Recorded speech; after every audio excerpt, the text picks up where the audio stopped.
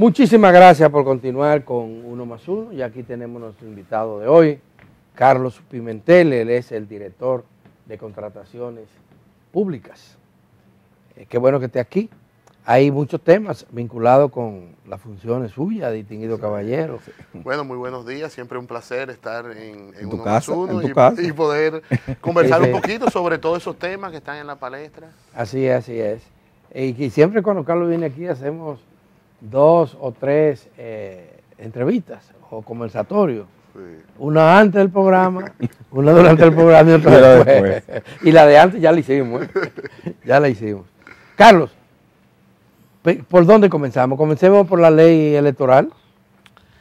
Bueno, eh, realmente ha sido una demanda de- del país desde hace mucho tiempo tener una normativa de régimen electoral que permita garantizar el funcionamiento de la democracia.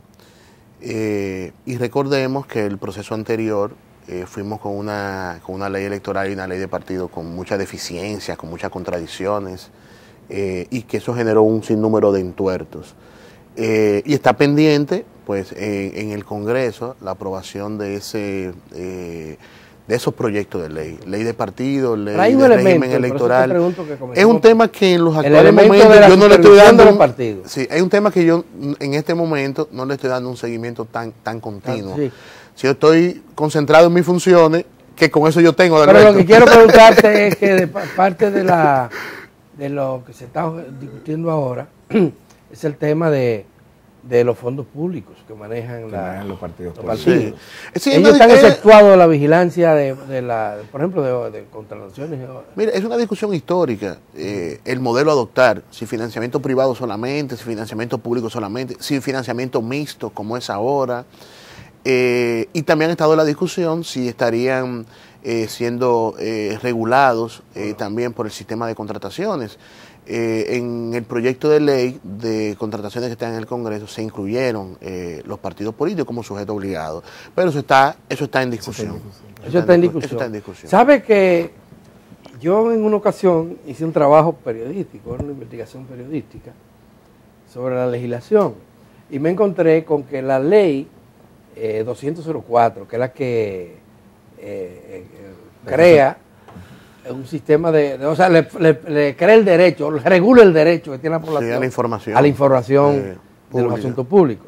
Y yo me encontré con un caballero, me habían hecho referencia, que él no es periodista, no es nada, pero él había sometido alrededor de 204 procesos para que le dieran información y lo había logrado. Y algunos de ellos eran contra los partidos políticos, contra la iglesia católica. Sí.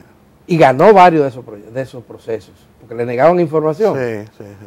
Negó, ganó varios de esos procesos, porque manejaban fondos públicos. Claro, ese es, es el principio. Si manejas fondos públicos, la gestión de esto eh, y lo que hagas con ello es público. Y es, es de Pero también tiene que ver con quién lo regula. Porque aunque sea público, alguien le exija a qui- quién se encarga de, la, de esa fiscalización. Sí, eh, debe estar en la ley de acceso, pienso que en la ley de partido debe estar muy claro, eh, garantizar ese principio de, de acceso a información, de rendición de cuentas. Sí, sí. Es más, y no solamente eh, como una demanda, sino yo creo que es una obligación. Una obligación. Una obligación, y no eh, solamente sobre la base de eh, la espera de solicitud de información, sino debe ser proactivo.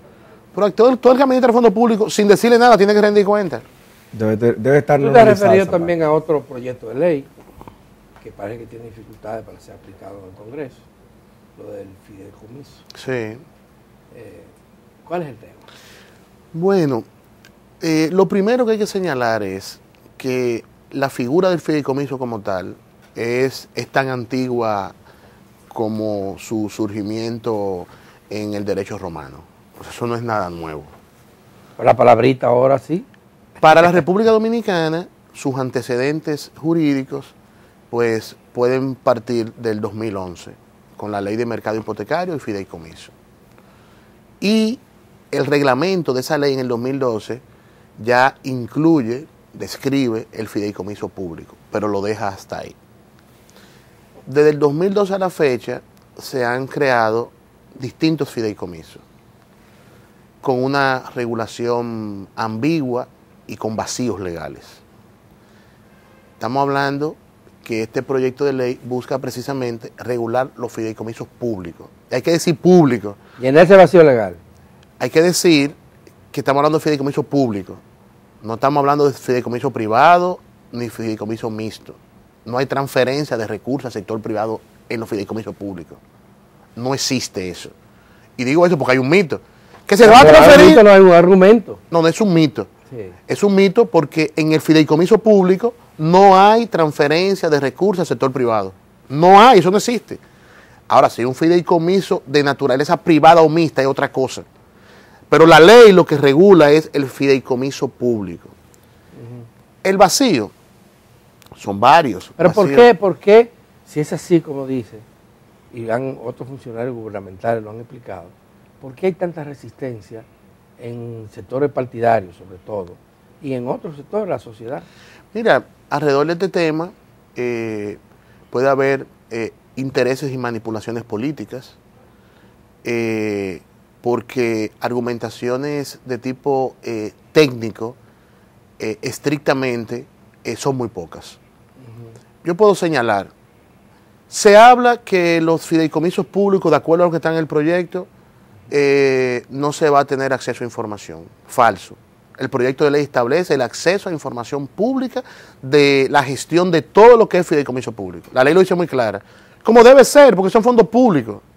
Segundo, el proyecto de ley establece que estarán siendo objeto de controles, y habla control de la Contraloría General de la República, habla de control de la Cámara de Cuentas, estarán bajo el sistema de contabilidad gubernamental. Además de eso, tenían la regulación de la superintendencia de bancos. O sea, todos los entes de control, fiscalización y supervisión del Estado tendrán competencia sobre los fideicomisos. Pero además de eso, desde el inicio de nuestra gestión en la Dirección de Contrataciones, hemos establecido en un sinnúmero de ocasiones el criterio de que los fideicomisos públicos son sujetos de la ley de compra y contrataciones. Pero no solamente que lo hemos establecido como criterio, que hoy en la práctica es así. El fideicomiso RD Vial está sujeto a la ley 340. El fideicomiso Parqueate RD está sujeto a la ley 340. Ahora está sujeto a la ley 340 por una disposición, por una voluntad, no por un mandato expreso de ninguna ley. Y lo que estamos planteando ahora es, vamos a regular para que quede claro que los fideicomisos están sujetos a los principios fundamentales de la ley 340 que los fideicomisos están sujetos al control interno, al control externo, al control legislativo, a la contabilidad gubernamental, que son sujetos de acceso a información, y, y para completar a, la regulación de la superintendencia de banco. ¿Por qué?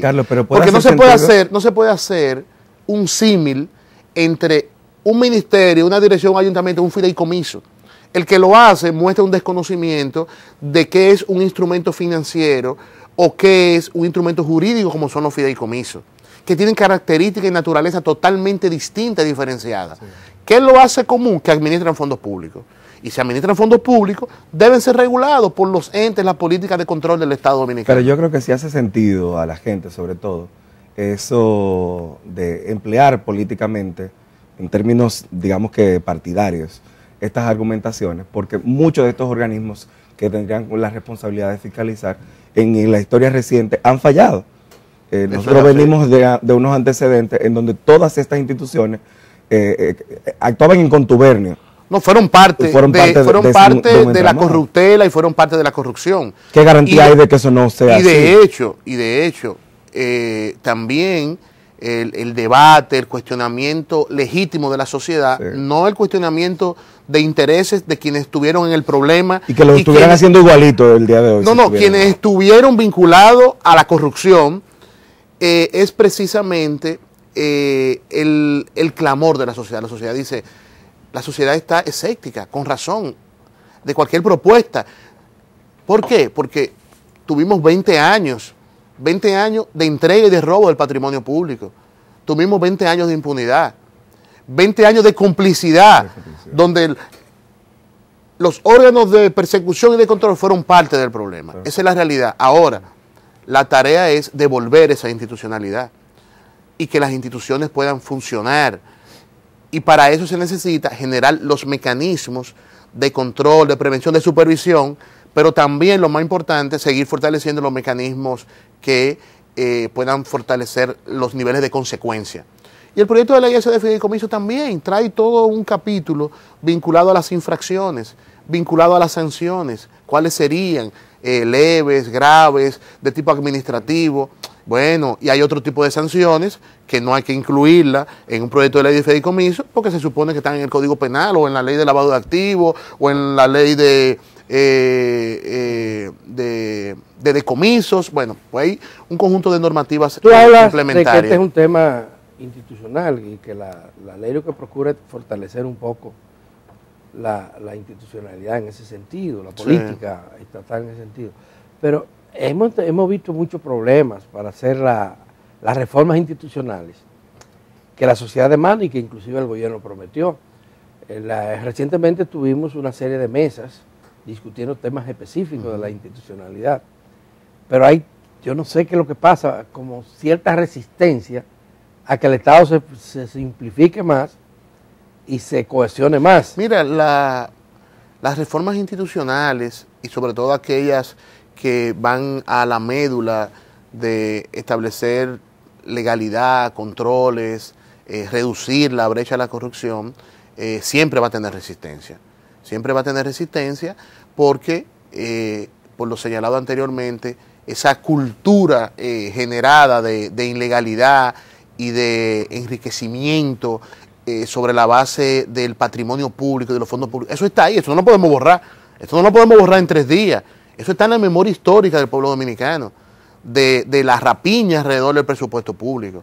Entonces, lo más importante de todo esto es que tenemos una sociedad, tenemos una sociedad eh, que tiene mayores niveles de conciencia, mayores niveles de, de, de, discernimiento incluso, que está muy clara quiénes le están hablando con intereses legítimos y quiénes le están hablando con un interés eh, muy marcado, eh, eh, partidario, politiquero, que fueron parte de ese deterioro institucional. Entonces, yo creo que eso es muy importante y eso ayuda a elevar el debate y que surjan otros actores. Claro, hay, hay una figura que se maneja en distintas instituciones, tanto centralizadas como descentralizadas, que es la de los incentivos en función de cobro de, impuestos multas establecidos por la ley o por reglamentos. Digamos el caso de aduanas. En aduanas se reparte un dinero que nadie sabe el monto porque nunca lo han dicho.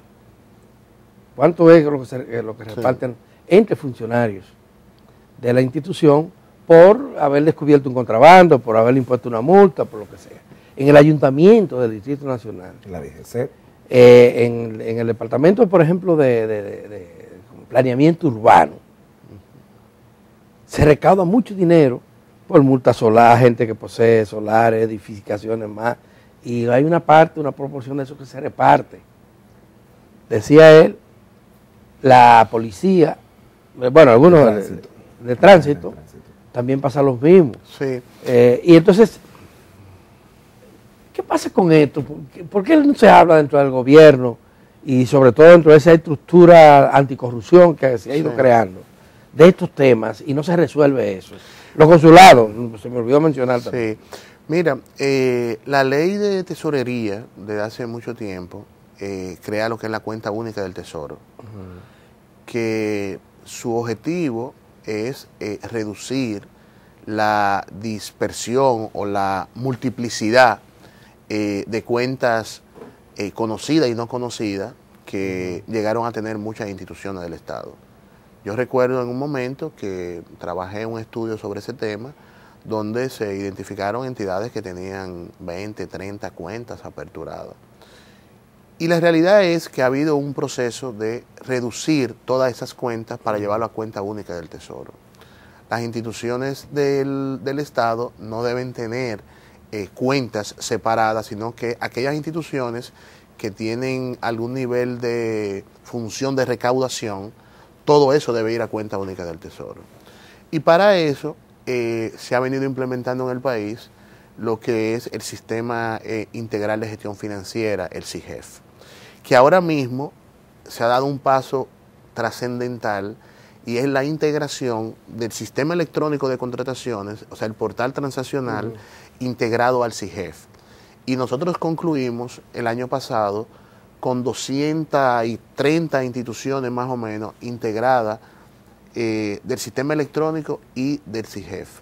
Y esas instituciones que están integradas para gestionar lo hacen, lo hacen en línea y en muchos casos eso ha contribuido también para ir cerrando esas cuentas que no están eh, siendo eh, depositarias de la cuenta única del Tesoro. Pero seguramente hay desafíos, como hay otros. La institucionalidad Pero los del ejemplos país, que yo eh, mencioné, Sí. ¿qué se está haciendo con relación a eso? Sí, ¿O mira, ¿Qué se pretende hacer? Si es, eh, desde, desde la oficina de ustedes se puede intervenir bueno en eso, bueno, eso no está dentro No. de la competencia de la Pero sí Dirección está dentro de la lucha por la transparencia pero obviamente y la idoneidad en el manejo de Claro, totalmente, totalmente. En relación sobre todo al tema del control del gasto, eh, con relación a la eh, el cerrar la brecha de la discrecionalidad, con relación al uso de recursos públicos. Obviamente que eh, eso está. Pero la institucionalidad del país, así como ese ejemplo, tiene otros, porque nosotros venimos de un deterioro importante.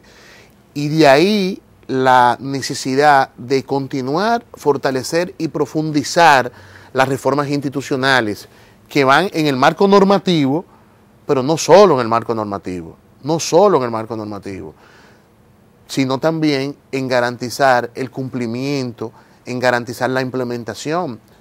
Y también creo que es necesario eh, elevar el debate, elevar el debate de cara a la eh, legitimidad de avanzar en la construcción de reformas que puedan ser sostenibles y, duraderas. Porque mm, si cierto en estos momentos se han dado algunos pasos que uno puede considerar que son importantes, aunque no satisfecho todavía, porque entendemos que hay mucho que profundizar, eh, si no logramos que queden fortalecidos en normas, en políticas, en la conciencia de la gente, en la defensa que pueda tener la sociedad de eso, probablemente pueden quedar en, en la voluntad de, de quienes estamos hoy. Entonces, de ahí la importancia, y el tema del fideicomiso es un ejemplo. Hoy día los fideicomisos están siendo eh, transados a través de la ley de compras y contrataciones, por una decisión y por una voluntad. En el pasado no era así. Y podría ocurrir que... Entonces, ¿por qué no tener una ley que establezca claro esto y que no quede a la voluntad de quienes estemos? Bueno. Hay muchas Lo que pasa es que, preguntas, lo que, pasa que- Carlos. que hay, hay obstrucciones, Sí. no olvidemos eso. Hay obstrucciones a la institucionalidad, hay obstrucciones a todo lo que implique devolverle al pueblo dominicano sus derechos y los recursos que fueron robados. Vámonos a una pausa y cuando regresemos vamos a hablar también de las informaciones que ustedes han presentado recientemente sobre los cambios en los topes para el tema de las contrataciones y los tipos de... Quédese con nosotros.